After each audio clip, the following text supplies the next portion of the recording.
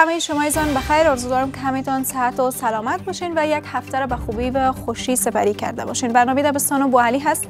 تا پایان برنامه ما را همراه باشین. قبل از همه بیاین ببینیم که در این هفته کدام موضوعات در برنامه هست. مریضی هاری یا مریضی سگ دوانه عبارت از یک مریضی حادی سیستم عصبی مرکزی است.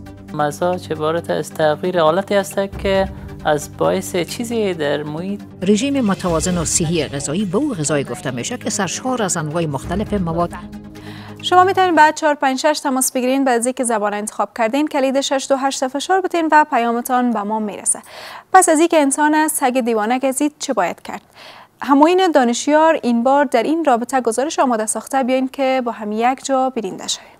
سلام بر شما و تشکر از یسرا. اینجا داخل شهر کابل است. شما از شمار سگهای ویلگرد در شهر کابل شکایت دارین. و بسیاری از سگهایی که در شهر کابل دیده میشه باعث گزیدن بعض از اشخاص و افراد میشه که آیا این گزیدن خطرناک است یا نه؟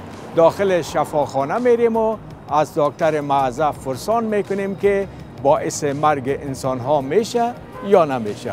با ما باشین و با هم یک جا این برنامه را دنبال می‌کنیم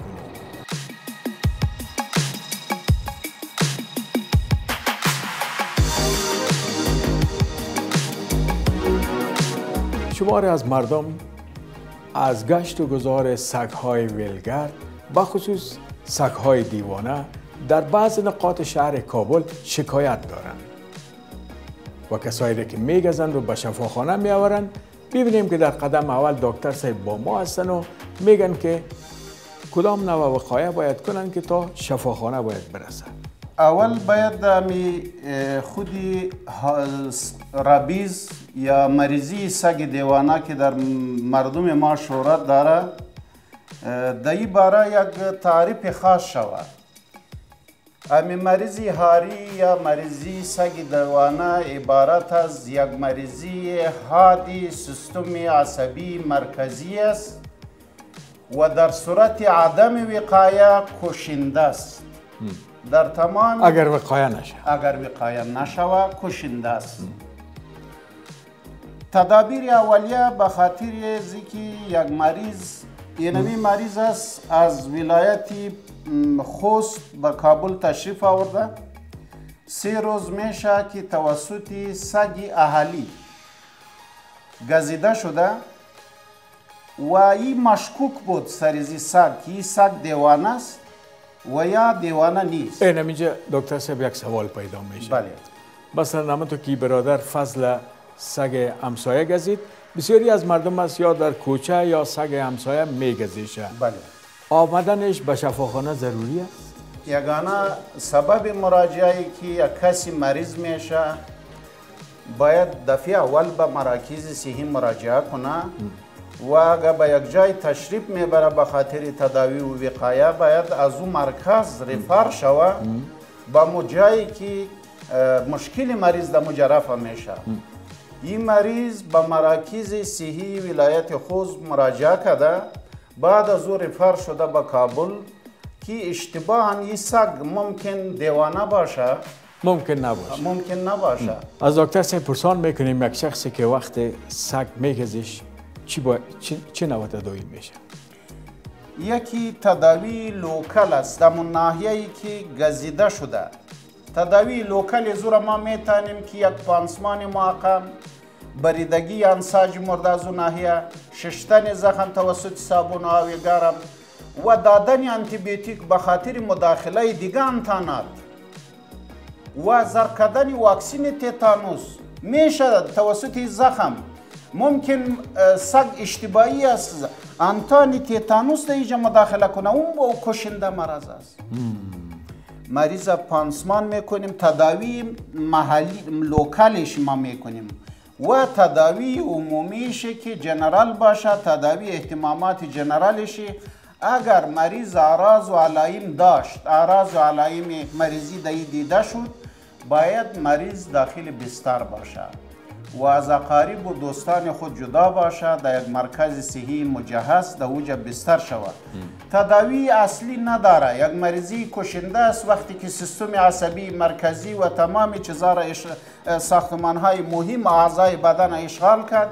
باز در وقتا امکان نداره. در وقتا ما می‌تونیم مریض اکسیژن تراپی کنیم. طرق تنفسی یا هواییش باید باز نگهداری شود و دستا و پایایش باید بسته شود و مایعات میتیم انتیبیوتیک میتیم به خاطر اختلاجاتش مثلا antispasmodic یا دواها میتیم تا اختلاج و ایزی کم شود دیگه تداوی خاص نداره. وقتی که اعراض و علایم نشان داد و مراکز عصبی را اشغال کرد در وقت بعضی مریض مریضی کشنده است کدام دوای خاص برای این مریضی وجود نداره. پیش از بروز علایم میشه که مریض وقایه شود توسط واکسینیشن اینمی رای وقایش بهتر است از مالیجه که هم آسان است هم ممکن است در وطن ما.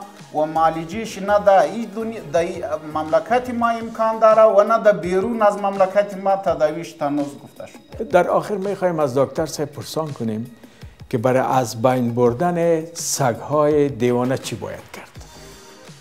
برای از بین بردن سگهای دیوانه خو این ترست که تدابیری لازم باید گرفته شود از طرف مقام وزارت صحت عامه شاروالی و سهمگیری بله. خود مردم.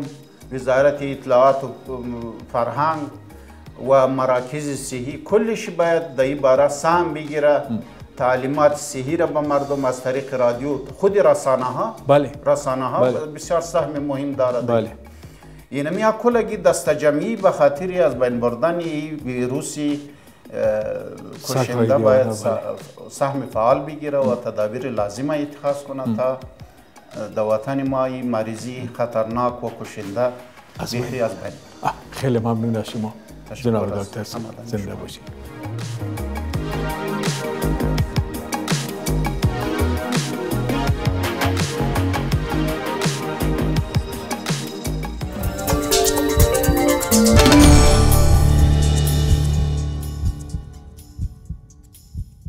ایزان در بخش استدیوی آشنای صدای امریکا با نجیب احمدیار باشیم که این بار با مهمانشان در رابطه با کدام موضوع صحبت می‌کنن.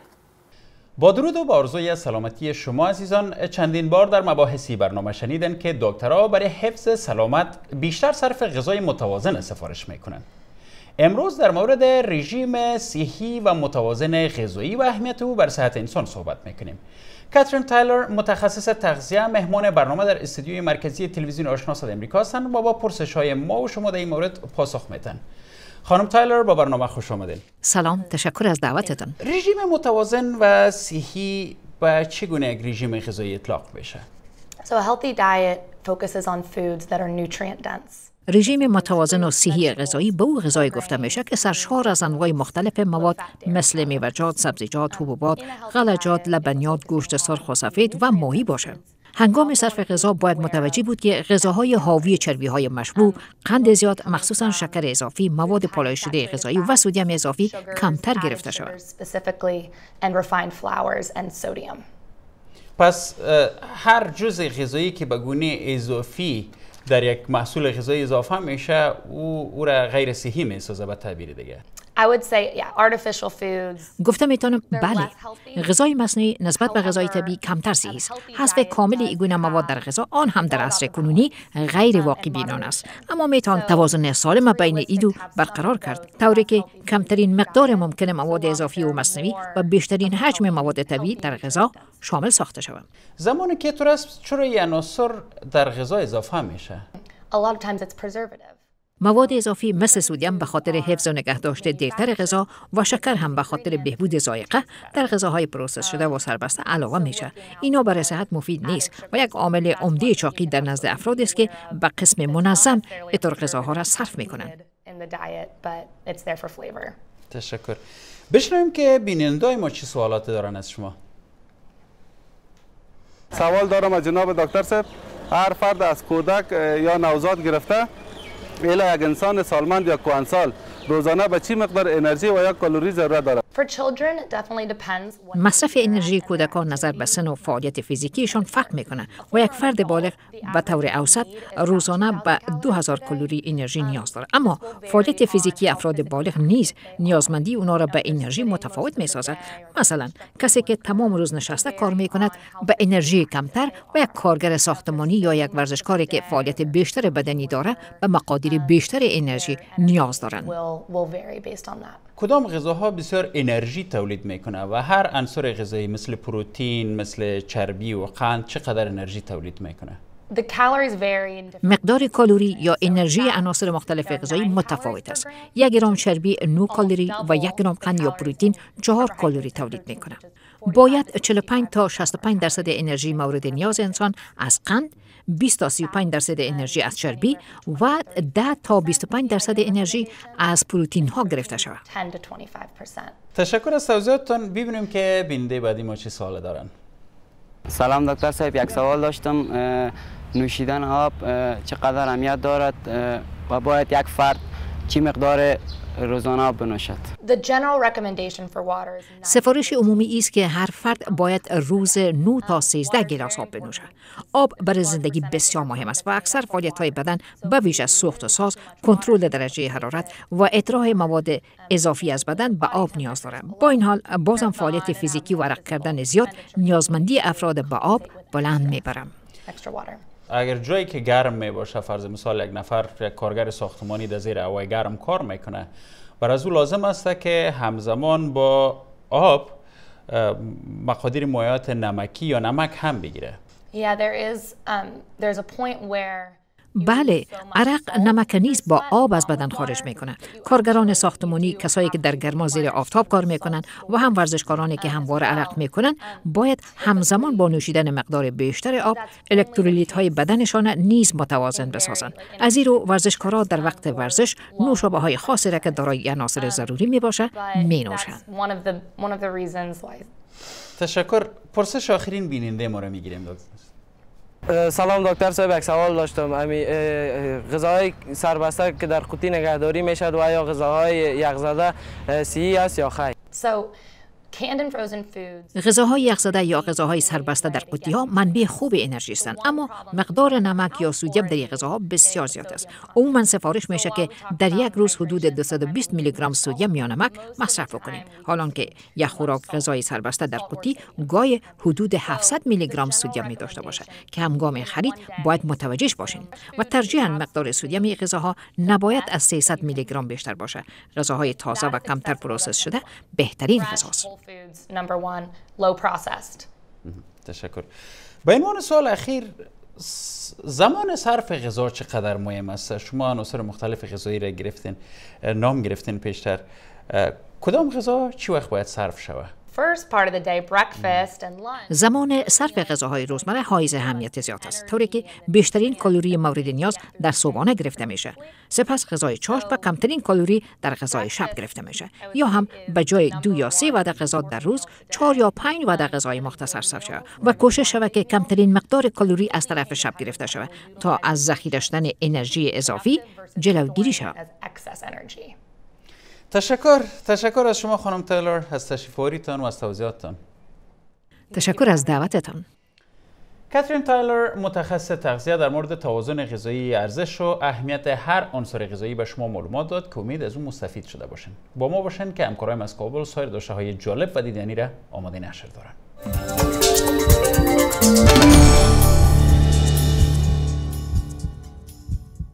دوباره خوش آمدین به ادامه برنامه دبستان بوالی. مزاج چیست و چگونه بدانیم که یک فرد مزاجش سرد است یا گرم؟ برای فهمیدن این موضوع دکتر صاحب محبلا بارکزی متخصص داخله عمومی را در استودیو با خود داریم که از ایشان سوالات پرسان می‌کنیم و خیلی خوش آمدین دکتر صاحب. تشکر زنده باشی. من بنابه خود گرمترین سلام خود خدمت شما و بینندگان عزیز شما تقدیم می‌کنم. سلامت باشین. دکتر صاحب میشه در ابتدا بگوین که مزاج چی هست و چند نوع است؟ تشکر قسمی که همه دوستان می‌فهمن. مزاج عبارت از تغییر حالتی است که از باعث چیزی در محیط یا اطراف ما در عضویت به وجود میاد و نظر به تحقیقاتی که صورت گرفته البته در طب سنتی نه در طب مدرن. مزاج در مجموع چهار است. که این چهار نوع می‌تونه مزاج سرد باشه. مزاج گرم باشه مزاج مرتوب باشه و یا مزاج خشک باشه. البته این مزاج که فعلا ما رویش صحبت می‌کنیم در مجموع یک پایه اساسی در تشخیص امراض و تداوی امراض از نظر طب سنتی است که در سابقا در انگامی که طب سنتی در اوج خود رسیده بود مریضا نظر به شناخت مزاجشان امراضشان تشخیص می شد و نظر به شناخت مزاجشان بر اینا تداوی صورت می گرفت و التیام پیدا می کردن. البته در تبابت امروزی نباید در اسی تشخیص امراض بیشتر تاکید سر طب سنتی شود که در صورتی که اگر بیشتر تاکید ما بر طب سنتی باشد تشخیص مزاج باشه یک افرادگرایی در صورت می‌گیره که میشه بعضی امراضی که مغلق است و جوابگو بر طب مدرن است اونا از پیش آدم مغالطه میشه و باعث ازی میشه که مریض بهبود پیدا نکنه خب دکتر صاحب نشانه های مزاج گرم و سرد چی هست؟ تشکر. البته قسمی که تحقیقاتی که صورت گرفته کسایی که در مجموع مزاج سرد دارن اینا معمولا دارای پوست سفید می باشن یعنی سفید پوست می باشه البته در موسم سرما به راحتی بسیار گرم نمیشن و نشانه های دیگرش است که بعضی اوقات از لحاظ روانی بسیار وسواسی می باشن یعنی به صورت بسیار ساده میشه که تغییر عقیده بتن. و اینا کسایی هستند که از زوفیت، گنگسیت و کسالت در امور یومی خود شاکی بوده و استراحت نظر به کار یا امورات روزمری خود بیشتر ترجیح میتن و کسایی که مزاجشان سرد است البته کم انرژی می باشند و بیشتر یک اندام کوچکتر نظر به اندام بزرگ دارند برعکس کسایی که مزاجشان گرم است اینا چون عروق شیری از یا یا های خونشان بزرگتر هستند میتابولیزم بدنشان یا تعاملاتی که در بدن از یا صورت می‌گیره بیشتر است. اینا بیشتر یک بدن یا فیزیک بسیار بزرگ یا یک هیکل بسیار قوی دارن و بیشتر ذکی می باشن از لحاظ ذهنی هوشیار می باشن. در کل یک فصاحت و بلاغت بسیار خوب در کلام خود می داشته باشند خب دکتر صاحب عوارض مزاج گرم و سرد چی هست؟ تشکر. قسمی گفتیم طبیعتا خداوند متعال قسمی خلق کرده که هر چیز بر یک تعادل خلق کرده. اگر یک شخص مزاج از اینا گرم است و خلاف مزاج سرد هر چیزی که اینا انجام بتن یا هر حالتی که خلاف مزاج گرم پیشان واقع شود باعث عوارض نزد یک شخص میشه. مثلا یک شخصی که مزاج اینا سرد است در صورتی که اگر غذاهایی که بر مزاج سرد مضر است اینا استفاده کنن. یعنی همون تعادل بدنشان بر هم بخوره. باعث بعضی اعراض یا امراض نزد اشخاص میشه. او اعراض بیشتر مربوط جاز ازمی میشه که مثلا یک دلبدی تهوع سوی آزمه نزدشان می‌تونه پیدا شود در مجموع یک سستی و گرفتگی خود عضلات نزدشان می‌تونه به وجود به تعداد و دفعات یا تکرر تبول نزدشان به وجود یک زوفیت و کسالت بیشتر نزدشان پیدا میشه.